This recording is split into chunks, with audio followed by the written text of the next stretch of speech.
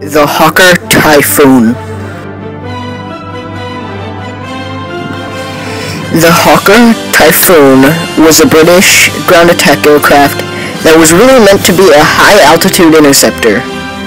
The Hawker Typhoon was also, funnily enough, really, really bad at high altitude, so it's, it's really weird. Design and development. Even before the Hurricane's production began in March 1937, Sir Sydney Camm had embarked designing its successor. Two primarily, two primarily designs were similar in large in the Hurricanes. These became later known as the N and the R from the initial engine manufacturers because they were designed for the newly used newly developed Napier Sabre and Rolls-Royce Vulture, respectively. Both engines were used 24 cylinders and were designed for over 2,000 horsepower. The difference between the two was primarily of the the cylinders, the H block in the Sabre and the X block in the Vulture. Hawker submitted these primarily designs in June, July 1937, but, but were advised to wait until a formal specification for a new fighter was issued.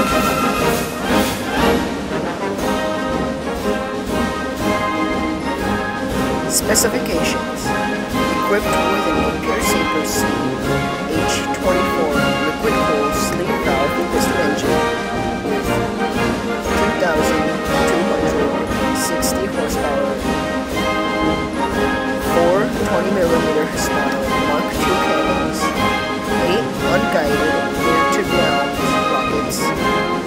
top speed of 412 miles per hour, a range of 510 miles, clean, and 690 miles with two 45-gallon fuel tanks.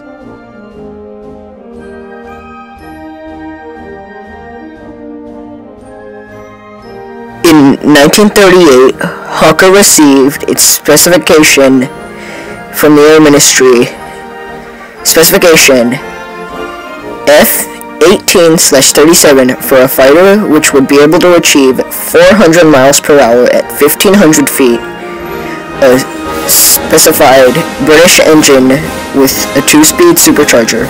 An armament of 12 303 caliber Browning machine guns with 500 rounds per gun, with provisions for alternative combinations of weaponry. Camm and his design team started development and design and constructed of these prototypes. Those prototypes were originally named the Hawker Tornado.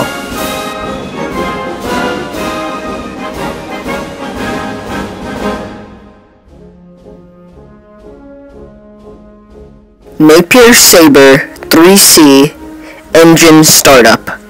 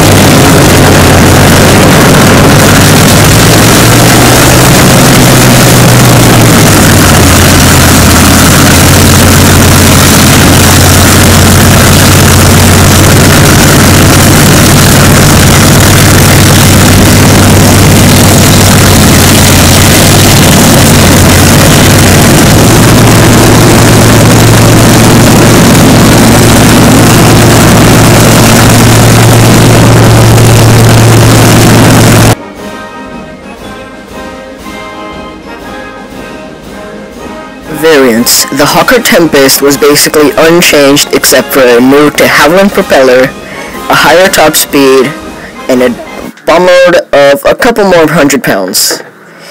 It was also used to intercept V-1 flying bombs and was famously used for wing tipping, where the V1 would come up right, or the the tornado, the typhoon, would come up right to the wing of the V1, pull up, and flip out of control.